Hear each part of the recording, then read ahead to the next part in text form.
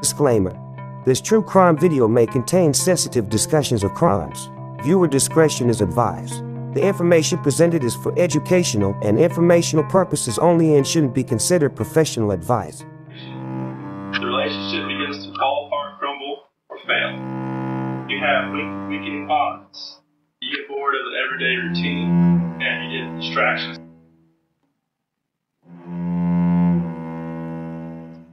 Relationships, no matter how hard, even at the job, you might meet a new person, and it could could uh, strengthen into something else. It could uh, weaken the bond you have with the partner you have.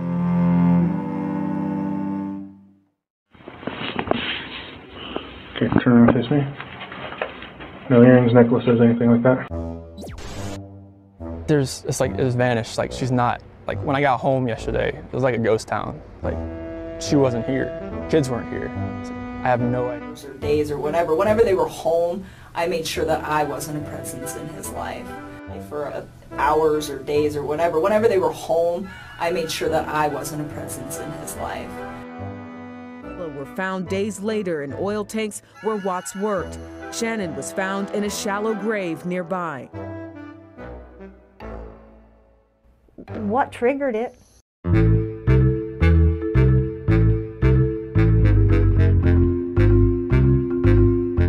What triggered it? Chris's mistress, and she was uh, interrogated by investigators. For me, like when I think of what was he going through his head, I find it really hard to believe that I am the catalyst for all of this.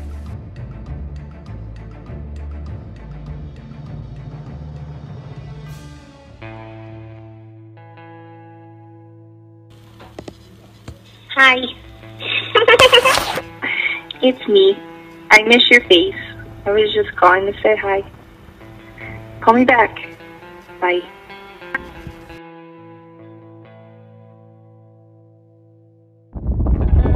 You're so damn sexy. so much for coming out here with me, Christopher. I am having a wonderful time.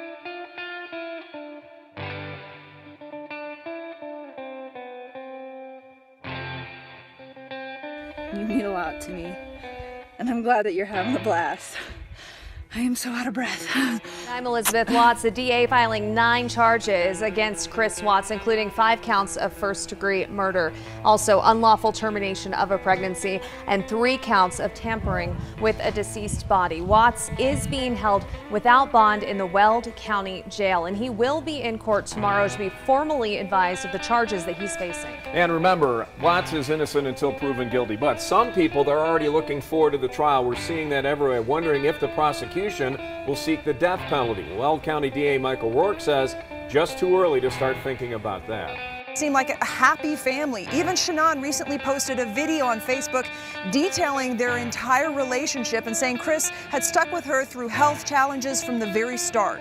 In hindsight, though, that that he had taken this mistress to the game, Right. But you did not know that. No. Your friends, but did did did they have any other friends that they were really really close to that they did a lot of things with? The Thrive friends, um, but we didn't know any of them. But I but I heard Shanann would talk about them. Um, But you guys had never heard any marital problems. No one had, neither one of them had No. discussed any of that. None of the marital, none of the financial, none of any of that. On the surface, it's just like this is the perfect family. Yes. Did he sound worried? No, he didn't give a flying flip. I said, Chris, you know, I said, I don't think you should do any media. I said, um, you're the last one to have seen them. So I don't think you should. And yet he did. I thank God he did it. I thank God in heaven that he didn't listen to me. We went to my colonoscopy. I tortured him. I rejected him. I I pushed him away time and time and time again. He knew me at my worst and he accepted me. I like opinion, but I'm pretty convinced that that woman and him did not get along. That woman and him did not get along very well, and the reason they stuck together was, hey, we're going to do kids, and I think they also. For me to stay in this relationship. According to my research, sometimes a necessity could be children. They also stuck together because they were in a very bad financial bind, and I think that All relationships are held together in part by form of commitment, either based on desire, obligation, or necessity. because they were in a very bad financial bind, and I think that she continuously disregarded it. And I think he messed up because he was too passive to say anything to her about it and really address it. That woman and him did not get along very well. They disregarded it. And I think he messed up because he was too passive to say anything to her about it. Because he was too passive to say anything to her about it. we synced up from the cloud and stuff like I just I couldn't have like she had like tons and tons and tons of like phone contacts. I just couldn't have all that. But it's still kind of linked up at one point.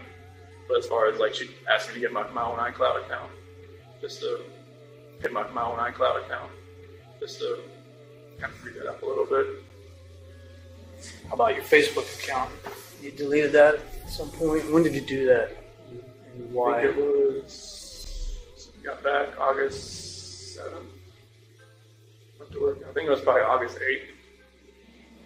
That's when um Nikki was told me she told her friends about me.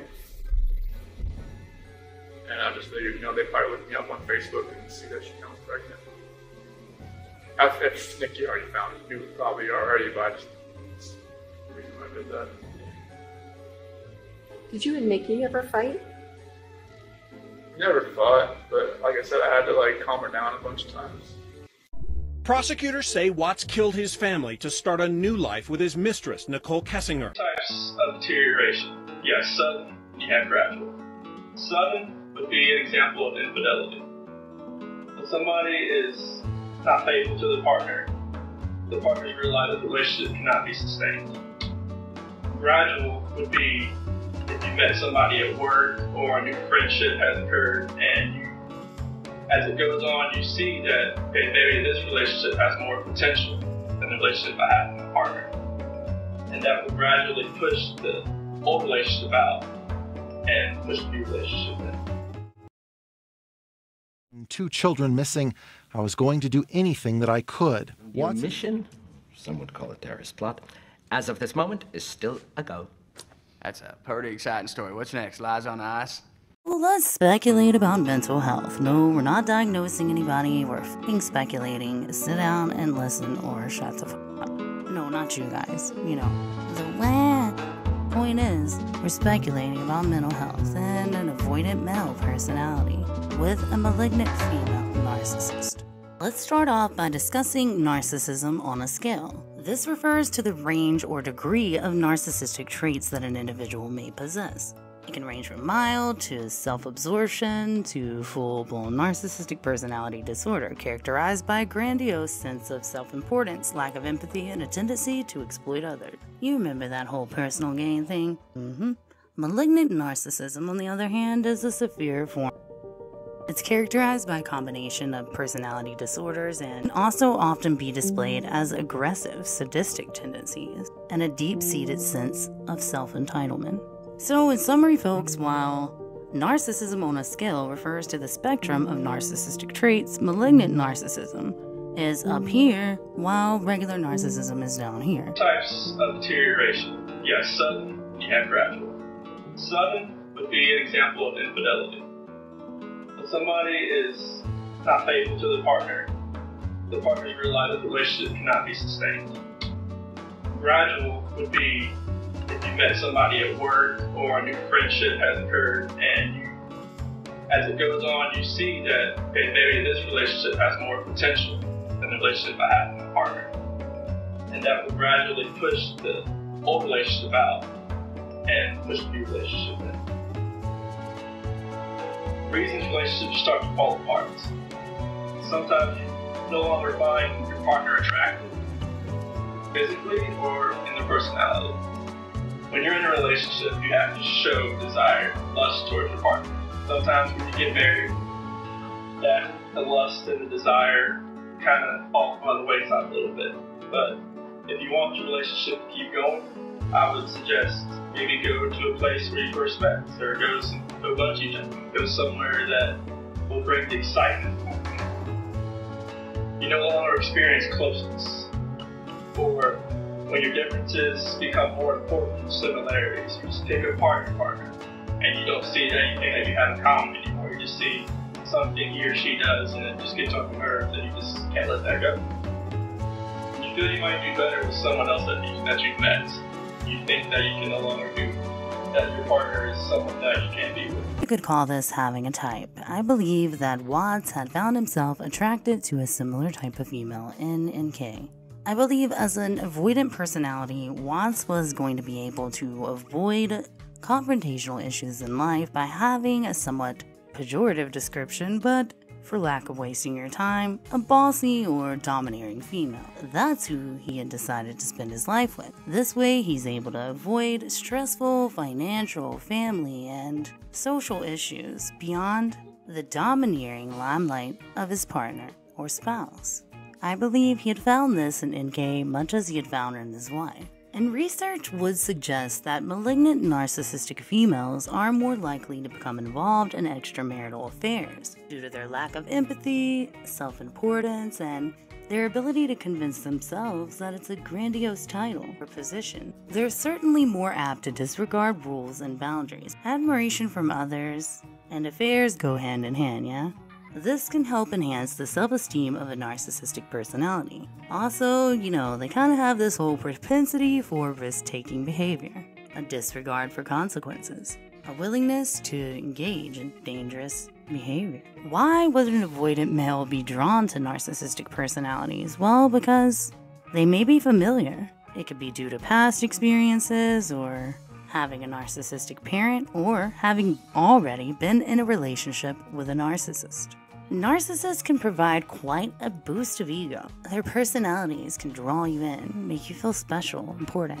To boost the ego of an avoidant male, well, it can go a long way towards his feeling of inadequacy. It can help him feel more secure about himself for a time. Exclusive this morning. The parents of Chris Watts speaking publicly for the first time since their son pleaded guilty to killing his pregnant wife and two young daughters. Watts, who's from Fayetteville, admitted to police that he killed his wife, Shanann, who grew up in Southern Pines, and their two daughters in a fit of rage. Their bodies were found back in August on the property of a Colorado oil and gas company where Chris Watts used to work. His parents, Ronnie and Cindy, didn't want to show their faces, but they are defending their son, telling ABC 11 he is not a monster. The Watts said their son's relationship with Shanann was abusive and felt she isolated Chris from his family in the time they were together. Chris's father, Ronnie, said he believes the initial thing Chris told police that he killed his wife only after finding out she had strangled their daughters. Hard for me to believe that he, he would hurt them girls, no matter what. The story, the, what he told me that night, I, believed it. And in the last hour this morning, we received this statement on behalf of the parents of Shanann Watts. It reads in part, Shanann Watts was a faithful wife and the most gentle and loving mother in the world to her children, Bella, Celeste, and Nico. Monday evening, the parents of Chris Watts gave an interview in which they attempted to defend their son. In doing so, they felt the need to make vicious, grotesque, and utterly false statements about Shanann. Their false statements, however hurtful and inaccurate, will never alter the truth about Shanann and will never alter the truth about the crimes committed by their son, Chris Watts.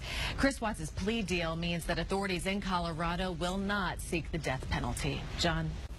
Neeks Peeks beyond the narrative of the Watts case. A topic of intense interest and one of the most intriguing aspects of the case was the mistress. You know the one. She hit the scene, and despite many efforts to uncover her identity, she remained a mystery guest, an unlockable character, until the plea deal was signed. There's something about mysteries and mistresses that make for intriguing tales. The Watts case, no exception. The public was left wondering who this woman was and what role she played in the tragic events that unfolded. Finally, with the plea deal intact, some of the questions were answered, but this enigmatic figure will remain forever shrouded in mystery, leaving us to wonder about the details that we may never know. However, in this playlist, we're going to begin delving deeper into the story and uncovering the peaks and glimpses of what was really happening Beyond the surface level narrative and beyond the lies in the world of murder, affairs, and deadly secrets. In this world, fatal victims and mistresses are just some of the players. My, isn't it remarkable how times have changed? In terms of information accessibility, in the past we relied on libraries, encyclopedias, and other reference materials to find relevant information about a topic. With the advent of internet, we can now easily search for anything we want on search engines like Google. Sometimes the results quite surprising. Do you ever think that when Nicole Kessinger searched for Amber Frey's net worth, she anticipated that her own name would one day be more associated with the results than Amber Frey? Nowadays, when you Google the same thing, mostly find things about Kessinger herself and her involvement in the Watts case. The internet has certainly changed the way we access information, indeed, such as our access to studies and reports on the frequency of affairs in the gas and oil industry. These studies suggest that it's a common problem and reported higher levels of infidelity. This one surveyed a thousand oil industry workers in 2014. It found that two thirds of respondents had witnessed infidelity in their workplace at some point in their career. So, of course, these reports don't provide definitive data, but the rates of affairs in the industry, well, they suggest a notable problem. And it's only one of a vast array of problems for the oil and gas industry. Anadarko itself was subject to several Me Too articles where women from the workplace describe a male dominated world where sexual harassment and workplace affairs are ignored. And as we endeavor to uncover this Nicole Kessinger data, I find it difficult to believe that anyone finds her entirely blameless. But hey, let's do this. Let me tell you why I don't think she is. She mentioned that she couldn't be the reason for what happened. In some sense, I guess that's correct. These problems existed long before she became involved. However, it's highly unlikely that she didn't play a role. If this affair hadn't occurred, it's hard to imagine how the simulation would have played out. Antisocial avoidant personality may be drawn to repetition compulsion and a trauma bond due to their inherent difficulty in forming and maintaining healthy emotional connections with others. This behavior can be triggered by underlying trauma, such as childhood abuse or neglect, which can create a sense of familiar comfort in the repetitive action. It may also be driven by a desire for control or a fear of vulnerability and emotional intimacy. A trauma bond occurs when a person becomes emotionally attached to another individual who is abusive or harmful. In the case of an antisocial avoidant personality, this may manifest as a pattern of seeking out destructive relationships or friendships. The trauma bond can provide a sense of validation or self worth, even if the individual is being mistreated. This can also reinforce the repetition compulsion behavior, as the individual may feel trapped in the cycle of abuse and unable to escape. Overall, the combination of repetition compulsion and trauma bonding can create a self perpetuating cycle that reinforces negative patterns of behavior and makes it difficult for an antisocial avoidant personality to break free from harmful relationships or destructive behavior trauma bonding can manifest in a variety of dynamics. An individual may stay in a romantic relationship with someone who is emotionally or physically abusive because they feel deeply connected to the abuser and are afraid of losing them.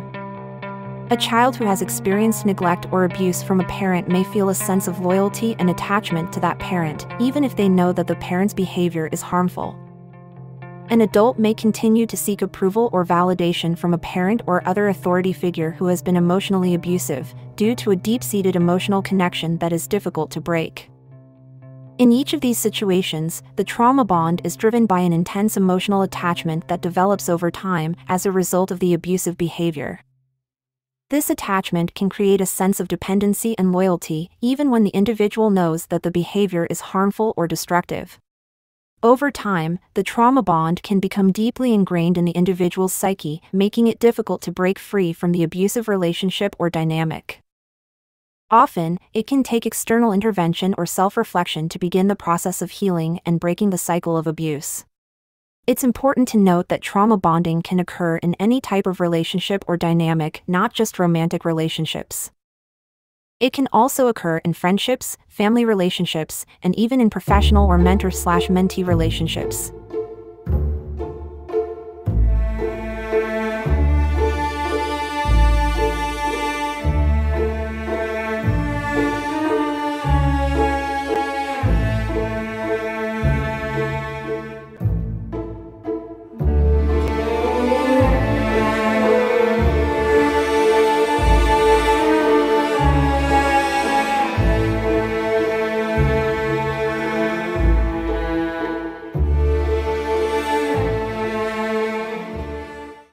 relationships. lot more of those simulations don't end in as much violence or as much devastation as the ones where Kessinger is the main player in that simulation. I think the chances are a lot higher that the catalyst ends in something tragic, with all of these different personalities stewing.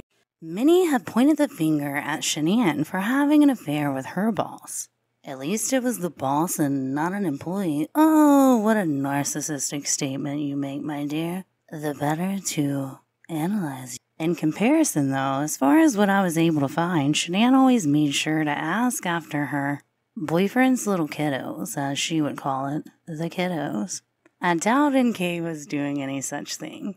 In fact, she was talking to her friends about backing out of the relationship because she wasn't going to get to have first with him.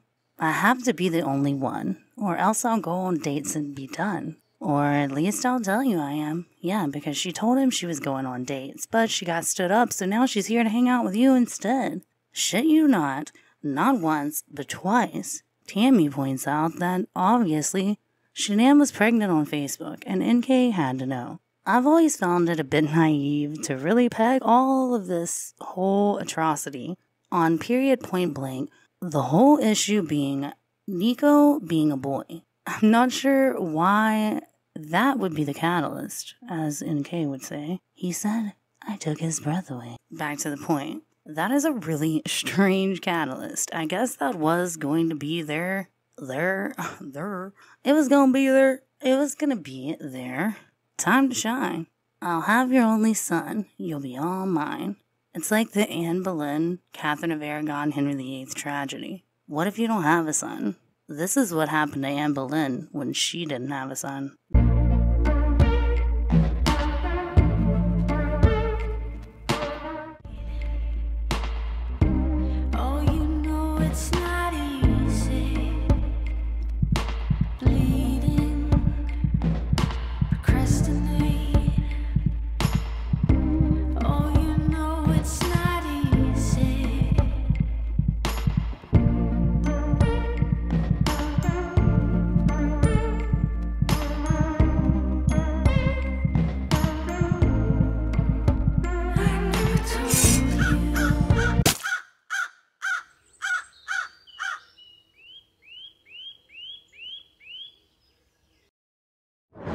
Just another daughter? Off with her head. More things that we should note about Nicole Kessinger is her lack of empathy. She tells her fucking friend whose dad died, being mad at me won't bring your dad back. Boy, I swear. OMM. She seems to have the more level head of the two. Well, that was until she called the cops to double check that her information wasn't going to go to the public. So then, therefore, the report of her checking to double check about her double checking was, you know, double checked by the public. Damn. But other than that, she seemed to have her family shit together because she was like, bruh, you gotta get your shit together. If you're gonna date a dad, you're gonna date the kids too. It's a package deal. Again, you know, she's so cute and adorable. A lot of people were angry at the police that, well, you know. I couldn't toast a piece of bread with the heat they were putting on you. While this may seem true, whenever you pair it with the idea that nobody really investigated NK thoroughly via these interviews, and what I mean by that is whenever she's brought up by Chris multiple times, we don't hear much digging. They dig into every other detail, and it's dad. They dug into Chris Watts' shithole after he buried it at the second job site that day. And yet, since Dear NK told her boyfriend Chris to get rid of Facebook, not just any old delete, but the old delete my shit for permanent request, apparently the CBI didn't get the identifying factors right. What they received from Facebook was, well, Christina Meacham's Facebook. Oops. what the hell were they going to do with that? Not sure. Anyways, they never recovered Watts' Facebook. Thanks, NK. Even though, you know, well, she's that type of intelligent that she thought about how to get rid of the cops' plans to undelete her text messaging, but not her Google searches. Doink. Nobody's perfect. I mean, I thought what we had, it was very comfortable for me. I enjoyed it. I think he did very much as well. You guys, you six, eight weeks, two months, whatever it was. You guys have an intimate relationship during that time. Yes. Okay. So you're you're pretty serious. Um, did, did he ever tell you that he loved you? Yes, he did. Did you ever tell him the same? A couple times. Okay. Um, notwithstanding that today, because that may those thoughts may have changed for you, but on let's go Mon- Sunday into Monday or Monday, did you did you still love him on those days? I think it was something where it was like I, I said it a few times and I meant it, but he definitely felt the urge to say it to me a lot more than I did to him because it was just all very new to me and I was like take your time with this like you don't need to to like rush that you know like I remember when he was in North Carolina and he was like trying to patch things up with his wife and he told me he loved me and I was like don't say that to me. Like she was very non-responsive to him trying to to like solve problems and like get out of the situations that they were in. And I think people just get complacent is what it is. And then, you know, Sometimes people, when the relationship starts to dissolve, repair is not an option, and they want to get away and start new. When you want when you act when you want to go into repair, you need to analyze what went wrong and consider what ways of solving the problems.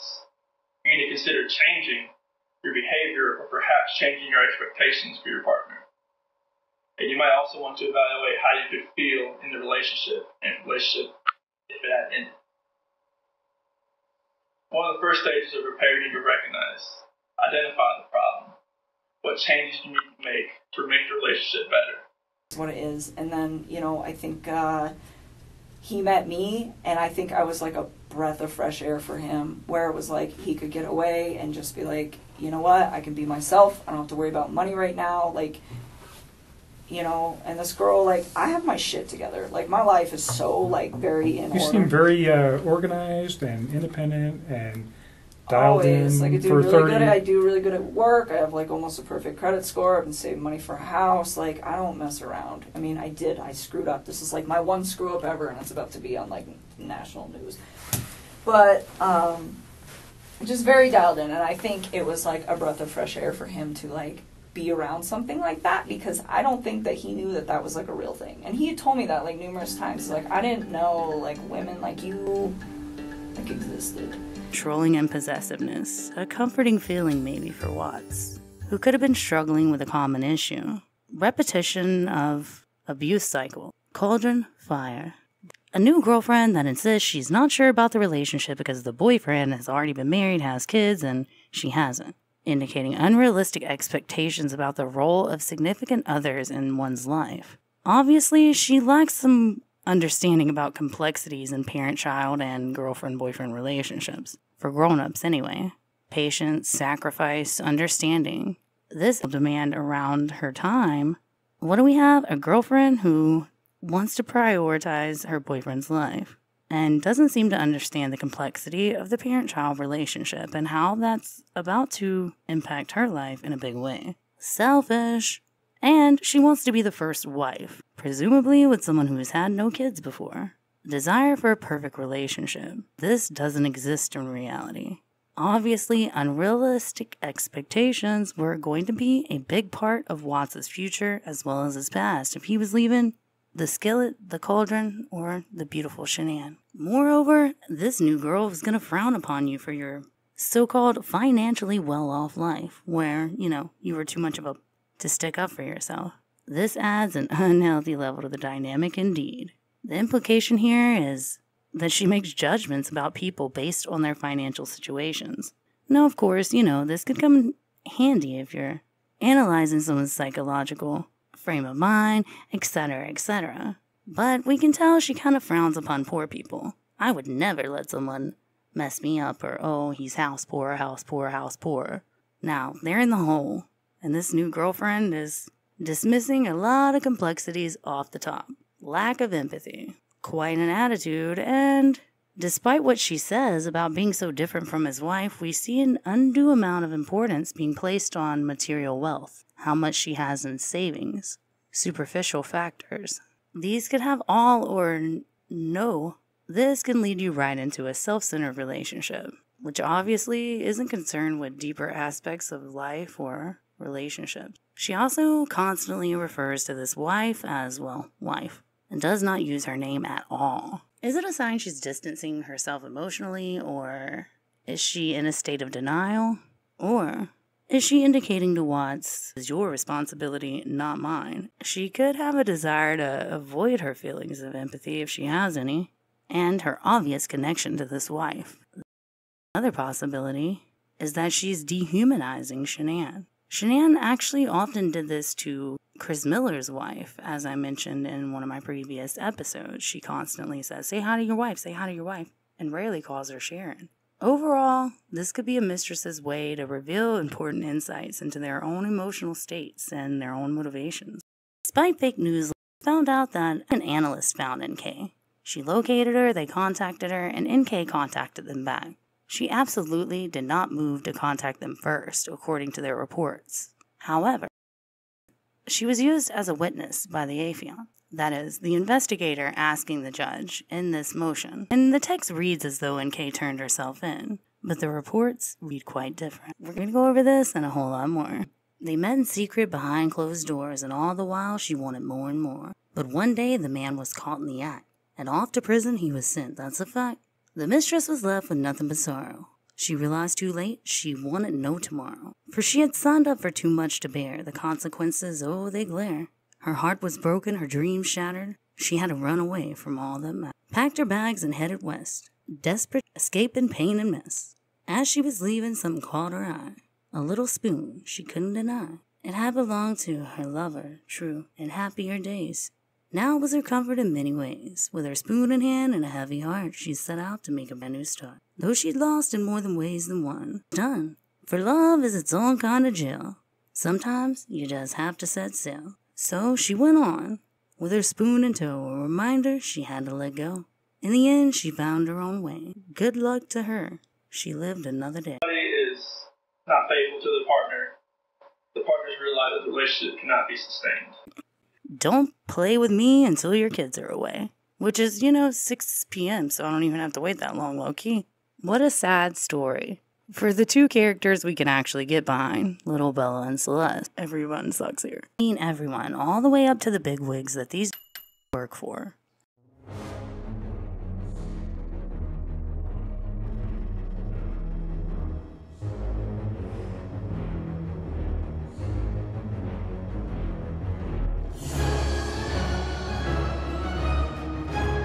Like I said, it is unpredictable, but the methane randomly travels with the water, and sometimes it will light quite spectacularly.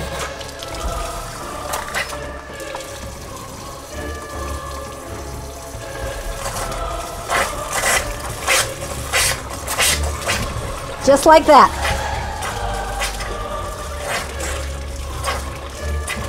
Tank site. He climbed the catwalk, opened the thief hatch, was overcome by gas, and soon after was found by another trucker, motionless.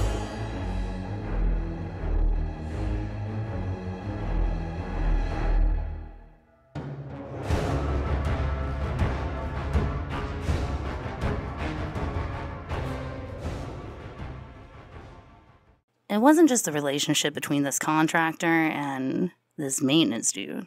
It was surrounding a whole heap of issues that the oil and gas industry deals with anyway, including the thief hatches all the way up, up their ass constantly, not to mention the millions that they lost in revenue earlier since the Firestone tragedy, where they rocked a house off of its foundation because some maintenance worker turned on an abandoned oil line. Later on, I get the feeling that the victim of that seemed to be indicating that the victims weren't installing a hot water heater. However, that seems to be the story that was perpetuated. She didn't exactly come out and say this, but she never mentioned. I'm confident that you'll gain some knowledge from this segment, or at least from the segments in this playlist. In fact, I believe you'll be able to dispel many of the myths and offer lots of explanations for why so many conspiracies have arisen around this case. Weld County is a vital contributor to the gas and oil production of Colorado. It has the largest